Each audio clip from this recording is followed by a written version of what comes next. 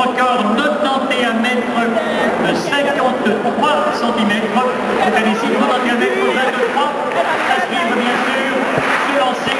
En avion que le